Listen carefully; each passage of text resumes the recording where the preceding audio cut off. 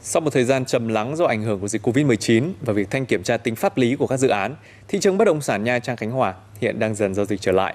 Nhiều nhà đầu tư đã âm thầm quay lại thị trường Nha Trang để bắt đáy. Theo ghi nhận từ các sàn bất động sản, giao dịch tại thị trường Nha Trang tháng vừa qua khá nhộn nhịp.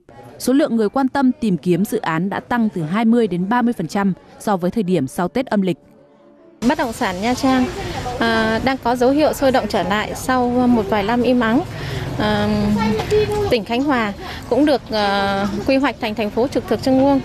Sau khi kiểm soát tốt tình hình dịch bệnh thì thị trường Nha Trang sẽ có thể tăng vọt trở lại.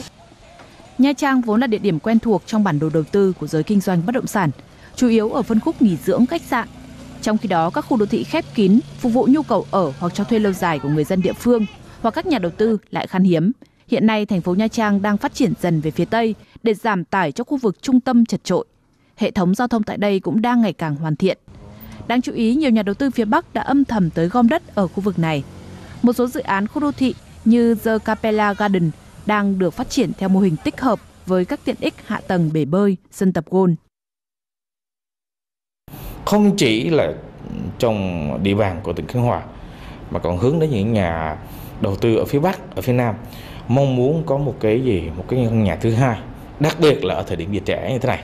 Đất nền dự án được định nghĩa đây là những cái sản phẩm bất động sản được nhà nước, được cơ quan quản lý nhà nước chấp thuận thông qua các quy hoạch rất là chi tiết một phần năm trăm.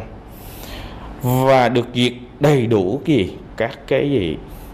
Thượng tầng hạ tầng dịch vụ đến kèm cơ sở vật chất cái khả năng tăng trưởng về giá ở những cái thị trường mới này thì sẽ uh, có cái tốc độ tăng tốt hơn so với những những cái cái uh, những cái địa phương đã phát triển rồi kéo được một cái sự quan tâm nhất định của thị trường.